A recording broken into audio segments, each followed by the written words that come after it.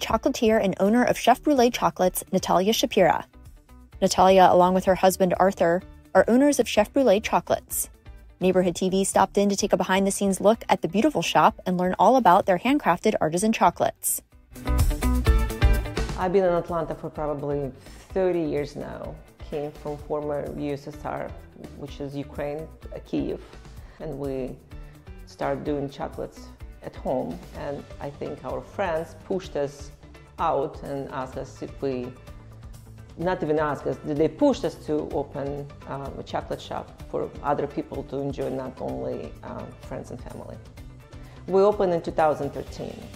It was kind of difficult because um, people were skeptical first, and the price was a little bit bigger than your regular chocolates, but it's painted, it's handmade, and it's fresh, and we don't have a lot of preservatives in the chocolates. Uh, we use a lot of organic ingredients, organic chocolates. So we wanted to bring it to the public, but um, now I think we have a huge, and I call my customers, not customers, I call my family because they are repeat customers and they love us, and uh, it makes us happy to uh, be the part of their happiness when they come here.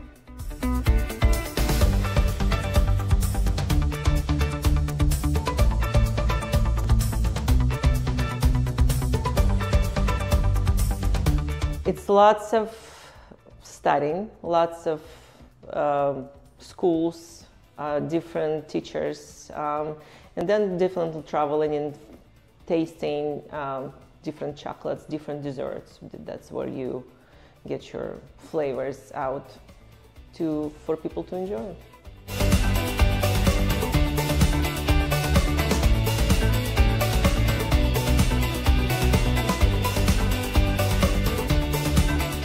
We love to experiment and um, we have chocolates with uh, curry, we have chilies, we have chocolates that we use cardamoms, so Eastern infusions, you name it, we can replicate like cheesecakes, um, fruity pistachios we can use, we make them different fruits, different um, nut fillings. We also do um, bars, for example, like that. It's the beautiful, beautiful bars. We make shoes. We're coming for Mother's Day right now, so we have a lot of high heel shoes. Also, the graduation season is here as well, so we make um, something for the graduates uh, to enjoy with the chocolates as well.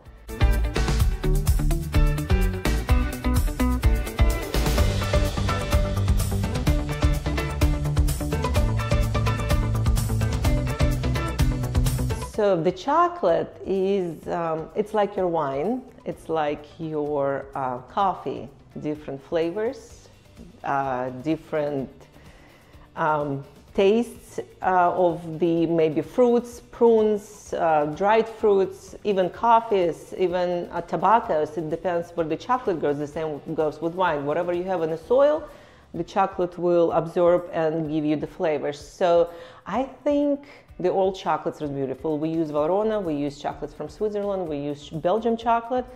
Um, they all have different flavors because they all come from different regions. And if we're creating flavors, so we try to create the, we take the flavor of the chocolate and combine it with other flavors to bring you more taste to your taste buds so you can feel all the beauty of the chocolate inside the fillings.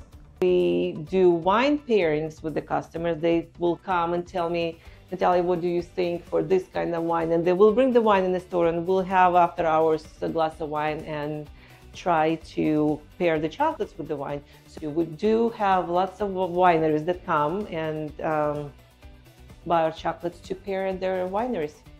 So this is a chocolate machine. It tempers chocolate for us. It keeps it in the right temperature for us to work.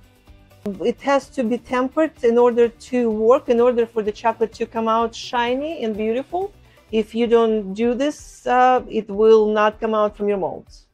We decided to use for Mother's Day peonies, and it's the silicone, food grade silicone, and uh, we cast them in white chocolate or dark or any other chocolates, and then we tip them out and we creating a shell so we can fill with the different fillings. And then when they're ready, we unmold them.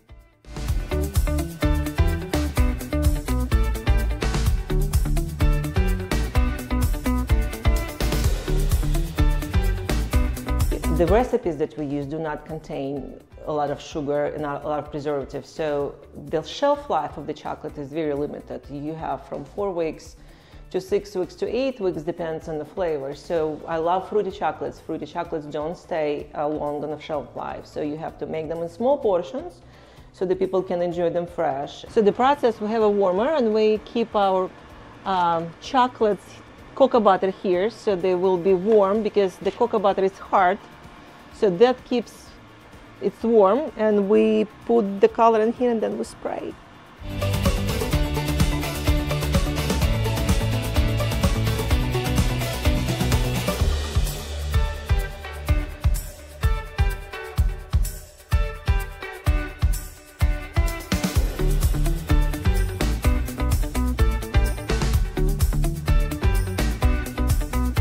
What I love about Roswell is it's the big community, but they love to help small businesses. And I think every holidays we know the husbands, we know the wives, they will come and um, get the gifts for their spouses, the children.